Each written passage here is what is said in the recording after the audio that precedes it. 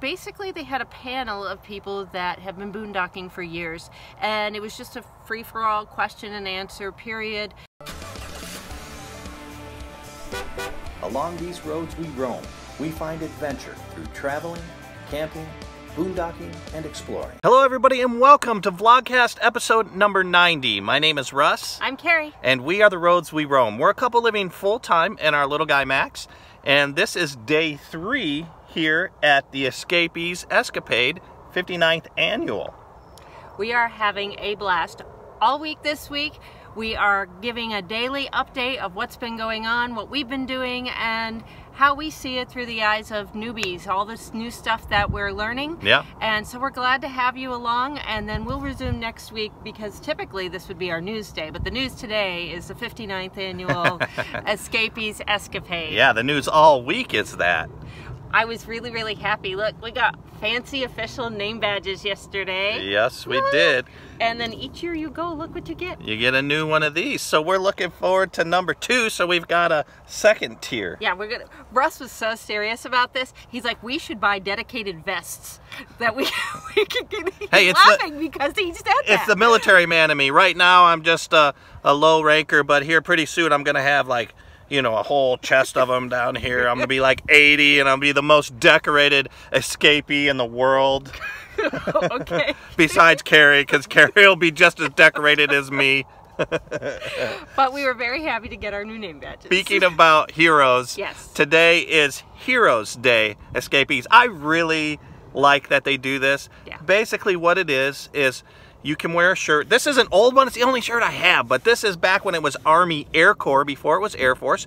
Kerry and I are both Air Force, so they invite veterans to wear a shirt uh, representing their service, or if you're a first responder, representing their first responders, or if you have a family member that you think that is a hero because they're in the service or first responders, you can wear that. And I guess really, if you don't have any of that, Wear red, white, or blue. yeah, so it's really neat. You know, and going back to our first night when we were here, they asked all the uh, first responders, fire, police, you know, medical, uh, service members to stand up, and they gave us all a huge There round of applause. quite a few. Yeah.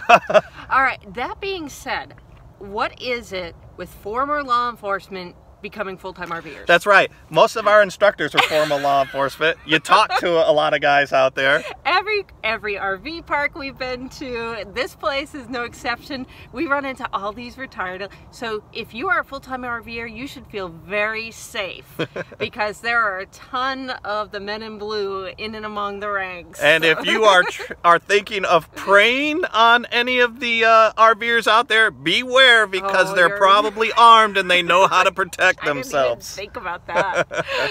um, so yesterday, while Russ was hard at work, Oh, it was horrible. You know, that's the only.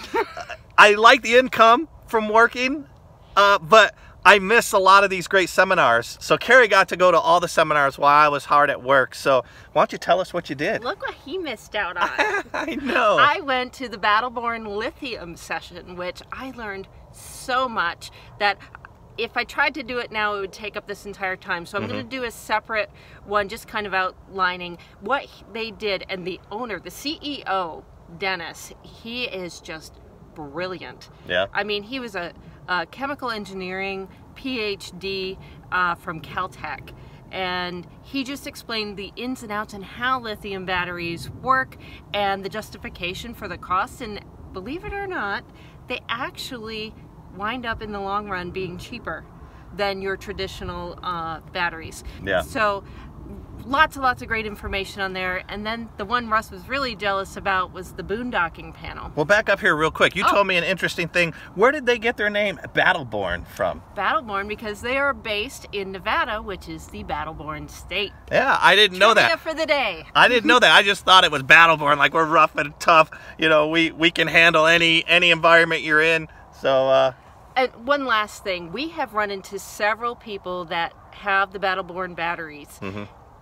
Every single person has talked about how great their customer service is. yeah, Uh, the people there are fantastic. We actually witnessed them walking two different RVs to talk to people, following up on some of the questions that they had while they were at their booth. Yep. They said, give us where you are, we'll come out and take a look at your rig and let you know.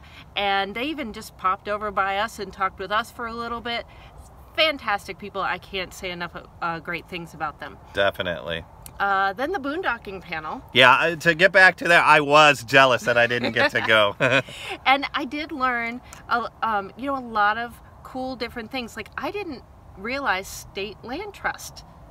You can boondock on that. Now, some states, so Arizona, for example, you do have to pay for a permit. It's like fifteen dollars for a permit for a year. you know what it sounds a lot like? It sounds a lot like that equestrian uh, use permit that you can get in Florida for like 15 bucks because Yes. that's state land as That's well. right.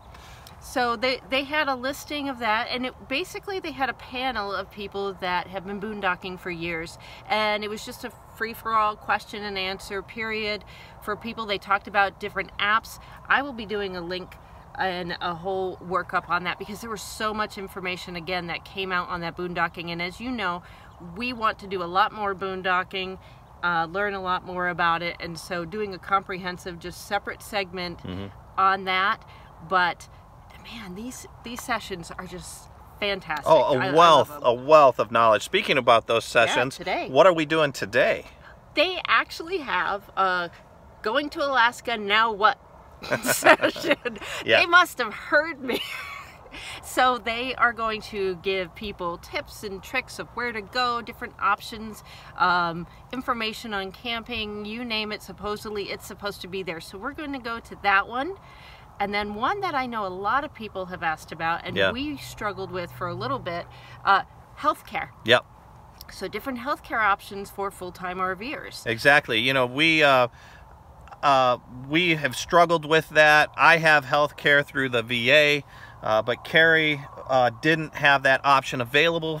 So we kind of, you know, bounced back and forth trying to decide what we were going to get. We finally found something that was pretty good for Kerry, but um, there's also a course here. Speaking about about uh, um, the different courses, there's another course here about vet benefits. That I that's always been a confusing topic for a lot of veterans that I've talked to and run into. What am I what's open to me, what's not open to me? There are so many thousands and millions of dollars set aside each year for veterans that goes unused, believe it or not, Yeah. because people don't claim it. And the VA has tried to do a good job of getting it out there, but it's just being at the right place in the right time to tell people what's available to them. So we're going to check out and see what they have. Yeah, you know, not even uh, just VA alone, but there are a lot of state programs for veterans of different states. When we were in TRC, uh, Truth or Consequences, New Mexico, there was a state-run veterans home there right by the uh, Oh, by the museum that we went to. Yeah, yeah. exactly. So there's just so much out there, and we'll try to to pass that along. But I think that's a great uh, thing that they're doing here. And then right after that, we get to do the first of two parts for our SmartWeigh program. Yep. Where we load our truck up as if we're traveling. So that means I'll have to be in there with the dogs along with Russ, and then they'll go and weigh just our truck today. Yeah. Uh, so we'll do that. And then they have a bunch of other services that I just found out about today. So when you are at this event, let's say your awning has been sticking for a while lately Mm-hmm. and you just haven't had the time while you've been on the road to do it. They have a mobile awning repair thing. And I've been seeing him go Oh yeah. up and down the He's aisles. just driving up and down the days aisles. Yeah. uh, pump out service. You can go up at the desk, sign up, and they will come pump out. So for us, we're in the boondocking section. Mhm. You save a lot of money by being in the boondocking section. So if Yeah. you can do that, and then they will come right to you. You don't have to worry about doing the blue boy or anything like that. So they offer that. Uh, mobile RV repairs. Mm-hmm. Mm-hmm. And then the, this one I found was interesting towing and brake inspections. Yeah. So if you even had a question about whether you should be using a weight distribution hitch or if it's causing issues on your RV or your tow vehicle, you can make an appointment with them and they will come right to your spot. Yeah, it's thought that was it's pretty cool. It's definitely cool. It's neat having so many people in in one area because you have a lot of services that are congregating here. Obviously, they make money off of Oh, that yeah. if they do that, but it's kind of a one-stop shop when you come to places like this. You know, we uh, yesterday Uh, in yesterday's video, you saw that I was the lucky uh, recipient of a $25 gift card to the Oink Cafe. So we That's just we had to go. yeah, you know what was really cool is $25 uh, basically got us both meals, drinks, whatever, and a dessert. And with the tip, it only was $8 out of our pocket. And it was great food. I got the uh, hickory smoked bacon burger with fries, and oh my goodness, that thing was delicious. I got a BLT wrap.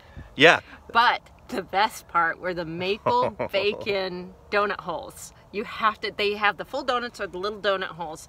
And they are fit. And if you walk into that place, it just smells so amazing. So Kerry went in. I was out with the dogs, and she's got some video in there. Unfortunately, uh, technology doesn't allow us to share that smell with you, but you'll so you have to take her word for and it. I think, um, I think Jay, uh, uh, NH Treasure Hunter, Uh-huh. asked what he could do to get the gift card. Sorry, we ate it. we didn't eat the gift card. We ate the stuff. yeah, we, we ate right through that. You give us a bacon gift card. Everything Yeah, bacon. yeah, exactly. You know, uh, one thing that I really liked about those donut holes is I'm not a big sweet fan. I mean, I do like uh, sweets, but sometimes they get overpowering. But the mixture of that that sweet donut with Mm-hmm. the uh, bacon was perfect. Well, I do want to give a shout out to the Oink Cafe and thank them for supporting the Escapees Escapade and for donating that as one of the prizes. And we were very grateful to receive that. So Much appreciated, thank definitely. you very much on that one. that was really good. I want to go back. uh, so last night we got into trouble a little bit. What did we do? we decided to go out looking for another LGM because we hadn't seen one Little yet. Guy Max. Yep. We didn't find any little guy maxes, but what we ended up in was a 40 foot diesel pusher for an amazing price. I mean, we had to talk ourselves out of trying of pulling the trigger on that thing. Oh my goodness. we were wandering down and they have RV Country has set up a small uh, showing of RVs that are available. Mm-hmm. And next thing we know, Vern had us inside that 40 foot diesel pusher, which gorgeous. Yeah. I think it was an excursion. Yep. And, uh, but at one point, he was even offering to trade Abby for the, the diesel. And Russ said no. is- No way. we put too much time into that dog. That's family right there. We can't trade. but no, they have some gorgeous RVs, and I really think if you're looking for a deal, those prices are probably Yeah. better than some of the ones that I've seen that I saw at the Super Show. Yeah, these show prices here for for what is it, RV Country? Yeah. You know what's interesting about that is all these RVs, all these guys at RV Country, that's what they do. The they're not at from a shop. They travel from rally to rally selling these uh, RVs. Yep. Which brings me up, uh, which brings us to a neat Such story. A cool story. Listen to this. Yeah. So what happened was they ran into these guys that are in these schoolies. Well, first of all, when Kerry and I were walking up to RV Country area looking for the LGMs, we saw these really neat schoolies. I mean, custom paint we jobs. love schoolies. Yeah. I mean, and so th- of course that caught our eye. And this one was These look like really hippie school buses, but really cool, really cool. Uh, getting talking to Vern there at RV Country, they they're working with these guys in the schoolies, and these guys travel along with them. They just met out on the road. I guess they had Out problems. Yeah, out in Quartzsite. They had problems with the people that were doing their uh, their detailing, so they just dropped those guys, and then these guys were were near them in Quartzsite, and they said, "Heck, we'll detail for you." So these uh, schoolies have been traveling around with RV Country, detailing all the RVs when they get to the shows, when you buy it. And uh, Vern says that these guys are fantastic, hardworking, good kids, a lot of fun people. Hopefully, I w- I'd like to be able to stop and talk to them at some point. So if we can catch them, I think they were out at one of the barbecues last night. Yeah, I know we did get video of those buses, so we'll have that in our Saturday video so you can see it. It's a very interesting topic there.